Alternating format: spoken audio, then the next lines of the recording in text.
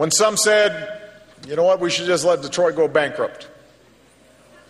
We made a bet on American workers and American innovators and American companies. And today the auto industry is back on top of the world.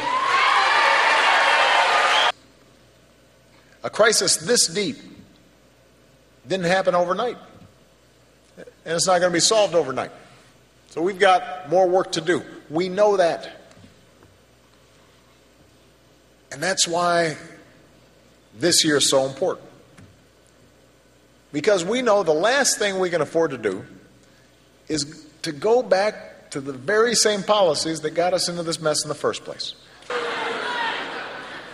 And my opponent in this election, Governor Romney, he, he, he's a patriotic American. He's raised a wonderful family. He should be proud of the great personal success he's had. Uh, no, I, I, mean, you know, he has been extraordinarily successful at, the financial firm uh, that uh, he helped put together. But,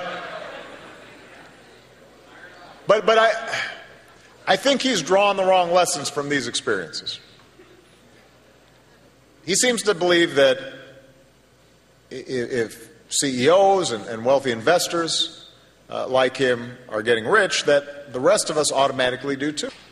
The challenge right now, the challenge we've faced for over a decade is that harder work for too many people doesn't lead to higher incomes. And bigger profits don't necessarily lead to better jobs.